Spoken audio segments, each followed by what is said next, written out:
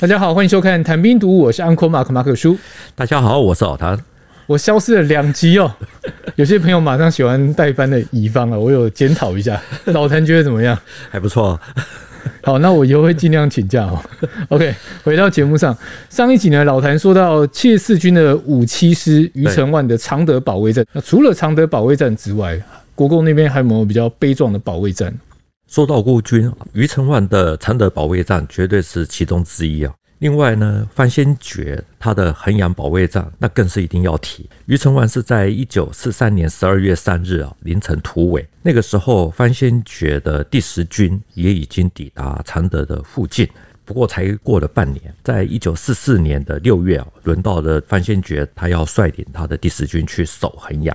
他的悲剧性与戏剧性跟余承万其实是不相上下。战场上的坚持与放弃，或者我们说荣与辱，很多时候其实是没办法说明的。所以我们这期来说他，因为衡阳保卫战刚开始的时候。蒋介石只要他能够坚守十四天，没想到一打就打四十七天。当然也有人是说四十八天，打到中国舆论通通爆燃的。可是呢，范先觉最后呢，他又很戏剧性的与日军谈判，依照国际惯例被俘。好，这个被俘我们这边是引号。崇尚武士道的日本人呢，对他相当的敬佩啊，因为范先觉把衡阳保卫战打成日本的小旅顺，付出了非常惨痛的伤亡。一九八三年，范先觉在台北逝世，那那个时候日本士兵还有他们的后代呢，前后三次啊来台湾。碾香祭悼，而且还一一的报上他们当年参战的部队序列番号，表示说他们是代表这支部队前来频道。为了表示诚意呢，日本那个时候呢还特别制作了一幅大型的油画，就是衡阳会战。他们为了要求真，所以还派人到衡阳去取泥土作为着色的依据。另外，他们也在湘江汲取了一瓶水，还有带回了一盒的衡阳土。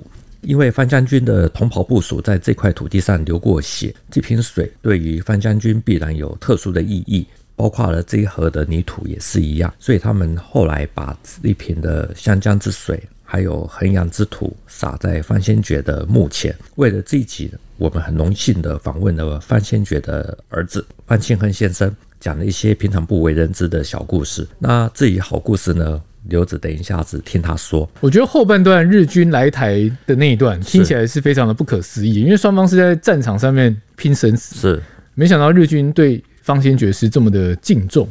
所以，父亲是第十军辎重团二营上校营长陆敬业的儿子陆启东伯伯。他说：“日本最重视武士道，崇拜强者。如果范先觉当时是投降，日本不会前后三次来祭道，还慎重其事的去取湘江水。”衡阳土，只有一个方先觉军长在去世以后，这个攻打衡阳的日本第十一军三次组团到五指山来吊祭，这个没有一个中国的将军有这种啊礼遇。这是民国八十对。第十军的方军长去的时候，这是一种敬意。那你刚刚讲的说不可思议哈，这个的确还有很多，其中包括了有一个小故事，就是在开战前，湘江出现了老鼠过江的怪事，从西岸到东岸。那个时候呢，很多人就觉得说，哎，这个一定会有大事要发生，所以有些人比较知道的，就可能就先走了。晚上，老鼠啊，成群结队的黑压一片。对后一个老鼠咬前前前一个老鼠的尾巴，整群结队的黑压一一片过江，这一段是我是我父亲讲给我听，连动物都跑，对，这有以科学解释吗？还是就是一个传说？因为这是真实的故事哦。但是我们可以知道，说动物它的这种预感的能力其实是比人类强烈的多，大概知道说这个地方将来会化成焦土，所以先走为妙。可是呢，老鼠跑了，范先觉却带着他的第十军来了。那为什么日军要打衡阳？衡阳是粤汉铁路还有湘桂铁路的交叉点，如果失守，就代表说整个中国的东南和西南被割裂成两半。所以日军要来打的时候呢，蒋介石就立刻下令，要求范先觉率领他的第十军去衡阳。啊，并且要求说至少要守两周。从六月二十三日日军的进攻开始，计划呢一天就要拿下衡阳。到了七月十八日，由于范先觉他的坚持抵抗，日军都一直打不下来。那个时候，日本的首相东条英机还被迫辞职。好，一直到了八月六日，日军才从北门攻入了衡阳。等于方先觉守了四十多天，但最终还是被攻破了。是那后来这场战役是怎么发展？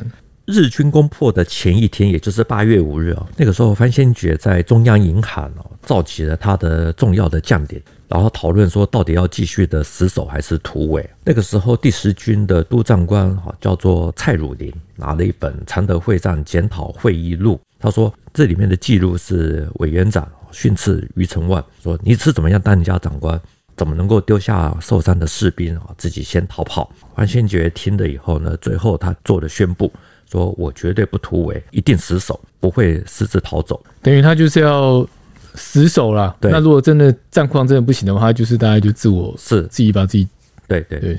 那那些受伤的士兵怎么办？那难道比如说你最大的长官走了以后，的确有考虑到这一点啊，所以范先觉他后来决定不突围了之后呢，他拟好了一道电报给蒋委员长，此电恐怕是就是最后的一电哦。来生再见。那为了要保障伤兵的安全，潘先觉就以说保证生存、官兵安全、保障伤兵得到救治为条件，与日军谈判。潘先觉是在八月八日啊，率部就发起了抵抗。这个时候呢，这支孤军已经坚守了四十七天。然后呢，日本军后来就把这支部队呢取了一个名字，叫做仙和军，希望能够由范先觉来继续的担任长官。可是他后来在军统的协助之下逃回重庆，那这支魏军也就消失了。日本人为他量身打造一支军队，叫仙和军，是用了方先觉的仙嘛？这是其实意思蛮明显的。对不对对对，另外这个和呢，就是昭和的和啊，就是哇我们各取一次。那范先觉他回到重庆，蒋介石其实也没有追究他的责任，而是还把他提升为第三十六集团军的副总司令，并且还授予了青天白日勋章。虽然打输了，但其实输的很漂亮。但这个词其实用来形容是不太不太恰当。但就是说，蒋介石也给予他相对应的荣誉嘛。对那前面老谭有提到说，方先觉后来来到台湾了。对。来台湾这一段过得怎么样？他是在一九四九年来到台湾。我们知道道德其实是最好占领的高度哈。慢慢的就开始有人说，从道德论的角度，或者我们讲不好听的话叫做封建道德，就从封建的角度来看，说范先觉那个时候是可耻的。是最不可赦，因为他投降了日本，所以晚年的时候，范先觉他的经济条件不是太好，住的房子年久失修，据说老鼠成群。后来还是用了他国大代表的贷款哦，才迁到了新家。你讲到这老鼠，我就想到那一个比喻，也就是衡阳保卫战开打前，老鼠过江，因为方先觉要来了，是，然后这么多年了，对，方先觉老了，就他的住的地方其实环境很差，是，然后老鼠来打扰他，对。对，这边其实你这样一比较，真的，我们也很常讲，就很多老兵来到台湾，其实他晚年凄凉。啊，对，那个时候范先觉搬走了以后，新六军的副军长苏世存，他住进去了范先觉他的老宅。他说这栋房子哦，老鼠、蟑螂哦，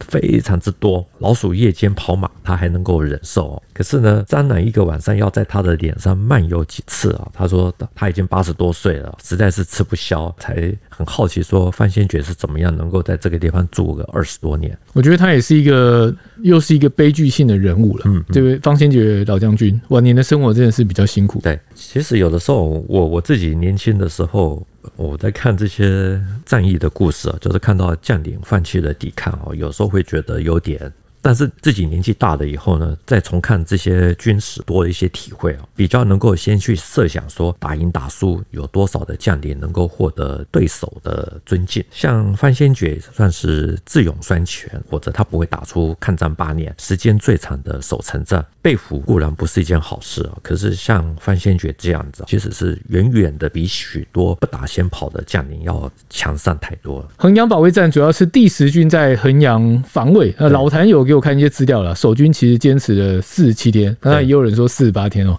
第十军呃一万七千六百人，对，伤亡率是百分之八十五，但是日军那一边呢，阵亡人数是一万九对以上，对甚至高达四万。当然，有人认为它是中日八年作战当中唯一苦难而值得纪念的攻城之战对。，是日本人说的。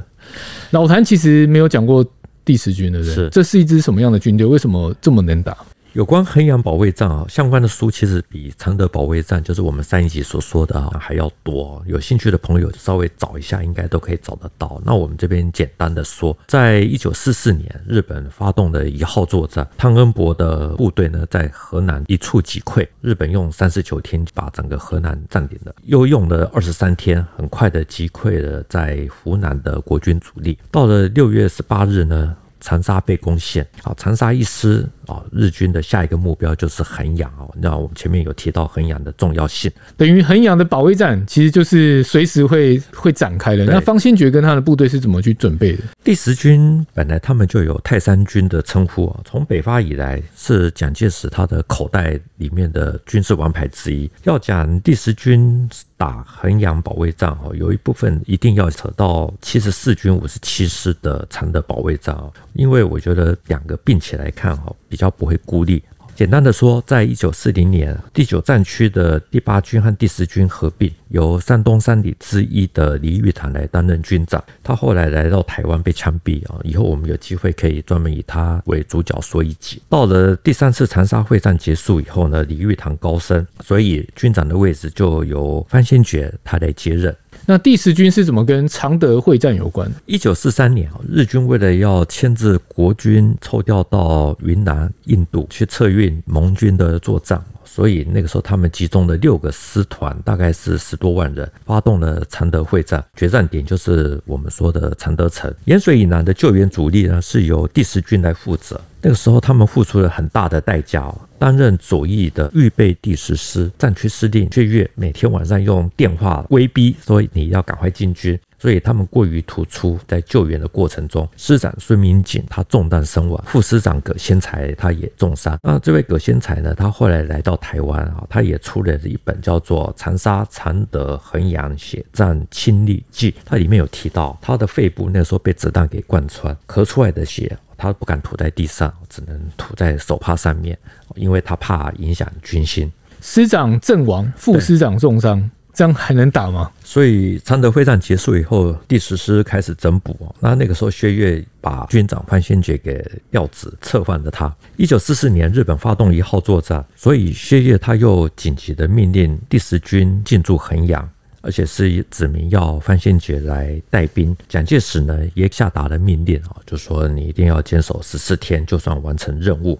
蒋介石的意思是守一到两个星期就完成任务了。对对，那他怎么去准备这？我们先讲两星期的任务好了。范先觉他的防御工事做得很好，所以才能够给日军带来很大的伤亡。因为他的每一个碉堡的选址都非常的正确啊，能够形成交叉火网，而且最重要是丘陵的基部啊，全部都把它削成断崖，顶部呢再挖可以投掷手榴弹的投掷好。所以呢，日军冲到了前面的时候，往往被手榴弹给炸死。从六月二十三日开始，第十军就用血肉之躯跟日本去做对抗，打到第二十六天。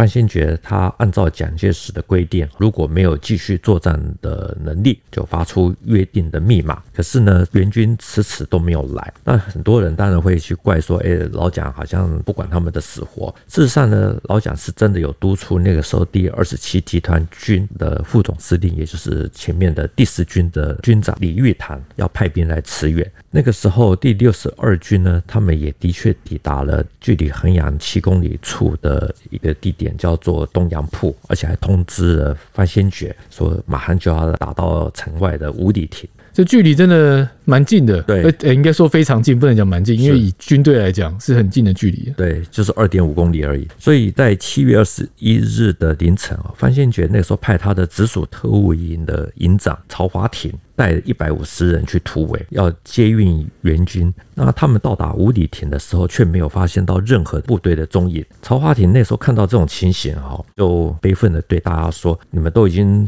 成功的突围了，有愿意离开战场的，就现在可以直接回家去了。”那他自己决心再打回衡阳城，要跟第十军共存亡。结果呢，没有任何一个人离开，于是曹华亭又带着大家又杀回城内，但是呢，只剩下二十多人啊，这样等于说一来一往对。多个就没了。那因为援军没有进城，所以其他的部队呢就顺势的全部通通都保持距离，以策安全。曹华亭复命，方先觉还把他骂了一顿，军长就说：“你这个笨蛋，你回来干什么？就是因为你出去了回不来，我也不能怪你，也不绝对不 会安你一个临阵临阵脱逃的帽子，是不是？你回不来，可这种情况你回来是很很难得的，啊。他报告军长，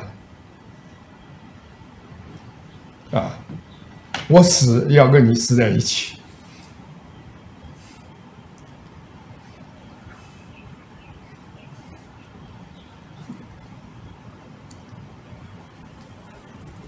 所以你可以看出来，第十第十军的向心。到了八月七号，城阳城内已经可以说是万分的危急哦，因为我们前面讲到，就是他们在六日所攻入了城内，巷战一天的结果，其实马上就要整个彻底的沦陷。虽然那个时候空中有陈纳德的飞虎队战斗机、轰炸机在那边支援，可是能够战斗的士兵哦。在地面上实在是非常的少。到了八月八日的中午，整个战斗就彻底的结束。所以真的是一个类似常德的孤城喋血啊。对，城内的守军可以这样打出去又打进来，但是援军就是始终没有过来。是，这真的是很离谱。到底是为什么？这是一个很复杂的问题哦。我们之后可以另外再说。后来也有一些文章也是专门在讨论说，为什么那时候援军不来哦？又为什么？在里面的第十军不突围相关的书哦，其实蛮多的。比如说像《衡阳抗战四十八天》哦，它的作者是黄枪，他认为里面的部队就应该要配合打出来。他甚至于以写抗日圣战中的衡阳保卫战的作者。白天林互相还打比战，这个也是很久以前的事情。总之呢，你现在看当时啊打过的人哦所留下来著作，对衡阳保卫战的成败啊，还是有一些不同的看法。对于这些比较细节的这种对错啊或什么等等，我自己其实也不知道。不过呢，如果是以伤兵的角度来看哦，其实我是觉得情有可原。因为我们之前讲过杨三奇战役，国军的将领宋瑞科呢，他那个时候因为不忍心抛弃伤兵而自己先走。所以呢，他最后被俘。蒋介石对宋瑞科其实也并没有很多的责怪，反而还责怪援军。所以你看，抗日战争还有国共内战的初期啊，其实国军大概都是这个样子。所以我常常觉得，其实几乎都已经预告了国共战争的最后的结局。我们的节目已经一百多集了，突破一百集，老谈到这一集才讲方先觉。日本军对他非常的敬重，是他过世之后还派代表来台湾来致敬。对，那这位方先觉呢，我朋友比较陌生，通常讲我朋友就是我本人的意思。好，老谭要不要介绍一下？范先觉他是安徽萧县人，他是黄埔三期。同期的名将呢，还有被指着见死不救的王耀武、戴安然，还有李天霞等人。另外呢，范先觉跟张灵甫还是亲家哦，他的女儿嫁给张灵甫的儿子。安徽当时还有另外一位名将是孙立人，所以张灵甫的妻子后来来到台湾哦，又去了美国，是孙立人作保。中间的关系其实还真的是有点复杂或紧密。为什么张灵甫的儿子会娶了范先觉的女儿呢？根据张灵甫他的儿子呢的说法是，他在美国啊遇到了未来的妻子啊，其实双方都不知道说，哎，你的父亲是谁？那是后来认识交往以后才知道。其实战争是非常的残酷啊。我所知道的是，张灵甫的公子之前还有七十四军老兵在的时候，只要知道哪里有。哦，他都会想办法去探视。那范先觉的晚年呢，也会有一些第十军在台袍泽会以前的部署来探视他。可是呢，他从来没有再回过衡阳，因为衡阳是在八月八日陷落，所以范家从来没有过父亲节。每一年到了这一天，范先觉几乎都是一个人独处。他最小的儿子范庆亨提到了这段的时候，他是这样子说。小的时候，好像我的印象中间，我们家从来没有过父亲节。慢慢退休之后，才发现，哎，他八月八号那一天，他常常一个人把他，我想关到自己的书房里面。他本来话就少，可是特别那一天，他开始他，我想几乎，呃，我想几乎不讲话，可以看得出来，他可能心情很不好的样子。后来才开始慢慢了解啊，原来八月八号是衡阳城破的那一天。我没想到还有这样一段故事哦，因为衡阳保卫战的关系，所以方将军他们一家人其实是没有过过父亲节。是，所以在范先觉过世之后呢，他决定要替父亲完成遗愿。刚好一九九四年是衡阳会战五十周年，所以范庆亨他联络了当年参战的第十军在台的一些他以前父亲的老部属，大家一起去衡阳。呃，到了衡阳，其实我们已经选好地方，就在衡阳城里面有一个叫燕峰寺。这燕峰寺当年好像也是炮呃炮兵的一个阵地，南岳衡山，请了几几位老和尚。来到那边去超度念经啊！上面我之前叫他们订了一些鸡鸭鱼肉、水果啊，什么东西，还有哦，对，还有五百个馒头，是吧？我们当然没有参与到那一场，可是可以想象气氛氛围一定是非常的沉重，是没有错。所以范庆亨他说，当时还有十几位拿着旗子，上面写着湖南黄埔军校同学会的老先生，他们也自动的前来，在他念祭文的时候呢。这些老先生、衡阳当地的老百姓，大家都在暗自啜泣，就开始点名嘛。譬如说哪一师、哪一团、哪一营、哪一连，然后有个人要喊到嘛，因为这个是招魂仪式啊，要把他们这个当年在阵亡的这些人招魂过来。因为这些资料都事先查好了，好了，祭文很长一张，用两个手这样拉开，整整一张。当念到这个中华民国八三年的时候，我。看到这些，尤其是黄埔军校衡阳同学会的老先，我想眼眶有的红了，有啊，有的掉泪了。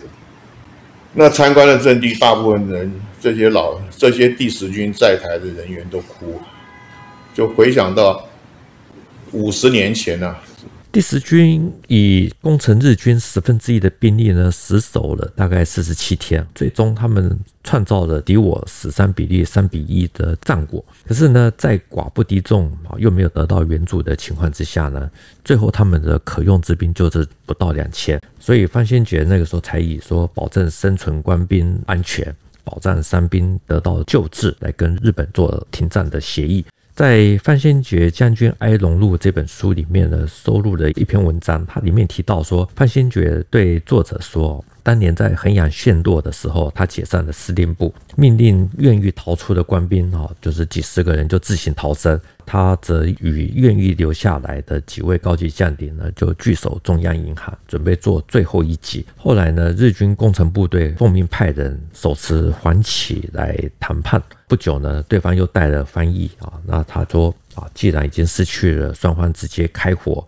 以求解脱的机会，也就按照战争的惯例受俘，直到蒋介石派人来把他们给救出来为止。还有另外有一本书叫做《范先觉与衡阳会战》，它里面也提到，日方没有发布范先觉投降的文件哦，之后又让范先觉这些将领呢一一的全部都逃回去，似乎两方是有协议的。主要的原因应该就是说，范先觉守住了军人的气节。让崇尚武士道的日本人也觉得相当的佩服，睁只眼闭只眼就让他走了。我觉得讲白话一点啊，方先觉把日本人打服了，是是吧？可以这样说。那但是这个其实有一个大家一直在讨论的，就是投降这两个字到底适不适用在这个结果嘞？老实说啊，相关的文章是有一些哈。可是我真的不知道，呃，到底是怎么一回事。反正就看大家怎么自我解读。我就记得我们以前遇到这种类似的个案啊，有一种说法就是你说他投降，但是他也许觉得我救了很多人，然后我留得青山在，我不怕没柴烧。对对对，那。回到节目上，衡阳保卫战对当时的中国是有什么样的影响？衡阳保卫战其实是让老蒋承受了很大的压力啊，因为战争结束了以后呢，史迪威就施压老蒋要把中国战区的统帅权哦交出来。尽管这样子呢，那个时候戴笠的军统啊，还是一一的把范先觉、葛先才这些将领从衡阳里面救出来。到了十二月三十日呢，重庆那个时候为范先觉他们召开了欢迎大会，蒋介石剩下还。把范先觉留下来吃午餐哦，只有蒋纬国一个人作陪。到了一九四五年二月，范先觉他所率领的第十军的这些师长呢，都一一的获颁青天白日勋章。所以第十军是国军建军以来呢，至今唯一一个呃师级以上将官总共获得四座青天白日勋章的部队。只是这支部队已经不在了。那我好奇啊，舆论认同吗？蒋介石当时是统帅嘛，对我要你守十四天，你守了十七天是有功的，但结果论来看，衡阳毕竟还是丢了。对那方先觉也是后来才回到重庆是，会有一些那种质疑的声浪。对，当时因为中国军事上的问题啊，全部都在日本一号作战里面暴露出来，所以报纸那个时候其实都是高度的赞扬方先觉，最主要的都是说他是英雄，也就是何成俊将军。他在日记里面说的：“张巡之手虽扬，不能专美于前。”衡阳陷落了以后呢，泉州、桂林、柳州，日军到了哪里，就是瞬间就陷落。摧枯拉对朽，对对，所以报纸都说这一路的守军太差劲了，桂柳一带的将军们，请你们照照方军长的镜子。所以呢，那个时候的报纸，例如很有名的《大公报》，它的社论也说，如果中国每一个城市都像衡阳这样子能打四十七天，日本能有几个四十七天？所以是有对照组，所以更显得方先觉是很厉害的。是对方先觉而言呢，他会怎么看我？我我不知道。但我们套一句，他在书里面啊，有人之前有访问他，他自己说：“我既未成功，也未成仁。”他晚年在台湾其实是蛮落寞的。为了准备这一集哦，老谭特别去访问了方先觉公子，还有当年第十军的后代。我相信故事非常之多，是这一集讲不完，但一定会有在后面还会有别的故对，事。包括像那个时候是张孝霞，衡阳会战第十军军部的侦察连长，他的儿子张幼霞，他也有访问到。那因为我们这一集的故事其实是还蛮多的，所以我们之后一定会陆续的把这些精彩的故事、感人的故事，把它给讲出来。对，大家当然就是持续锁定了这一集的节目就到这边了。谈兵读武，新闻与历史的汇流处，军事是故事的主战场，只取一瓢饮。结合军事、历史跟人文的节目，除了在 YouTube 上可以观看，在底下留言交流之外，也能用 Pocket 收听。欢迎听众到 Apple 的 Pocket 给我们留言以及五颗星的评价。再次谢谢老谭，谢谢大家，我们下次见，拜拜。拜拜。